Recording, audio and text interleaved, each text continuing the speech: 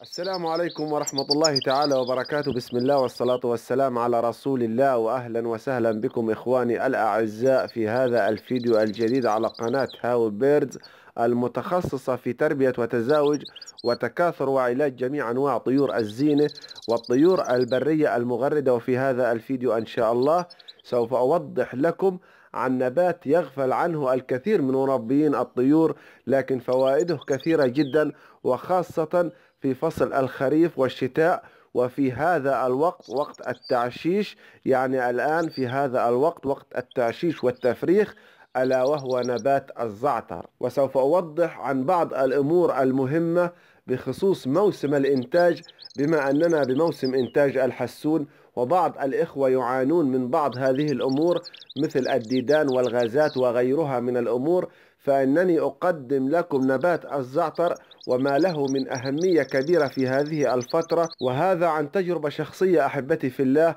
والزعتر أحبتي في الله هو الحصن الحصين لجهاز المناعة فهو معقم وقاتل للجراثيم والبكتيريا والالتهابات الفطرية. وفي نفس الوقت مزيل للمغص وتشنجات الأمعاء والنفخ وطارد للغازات من الأمعاء والمعدة ومقوي عام للجسم ويمنع التحركات في المعدة ويساعد الجسم على التقليل من التعرق في الأوقات الحارة. وبخصوص الأمراض يزيل السعال وجراثيم البلغم ويعالج الربو والسعال الديكي ويزيل ضيق التنفس ويقتل ويطرد الديدان من المعدة ويعمل على توازن نسبة السكر في الدم ويعمل على علاج جميع أنواع الرشح ومقوي للطيور في فترة التزاوج والإنتاج وينشط الطاقة التناسلية وينشط الدورة الدموية ويمنع تصلب الشرايين ويقوي عضلة القلب ومقوي ومفيد جدا للكبد أيضا ويعالج الطيور من الإسهال ويقدم حتى للأزواج التي تحضن الفراخ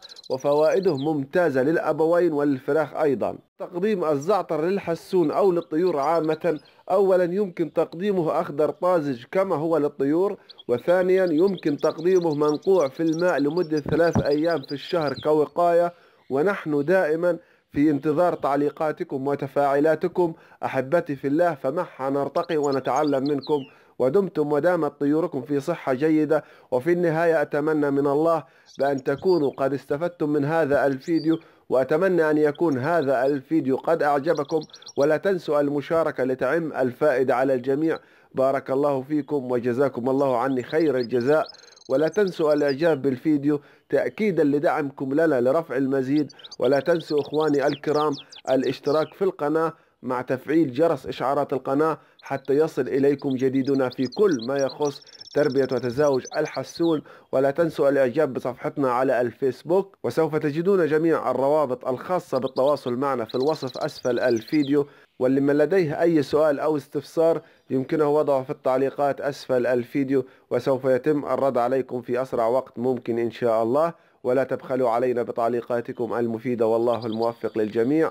وشكرا لكم لحسن متابعتكم وجزاكم الله عني خير الجزاء وغفر الله لي ولكم ودمتم في أمان الله وحفظه ورعايته. والسلام عليكم ورحمة الله وبركاته.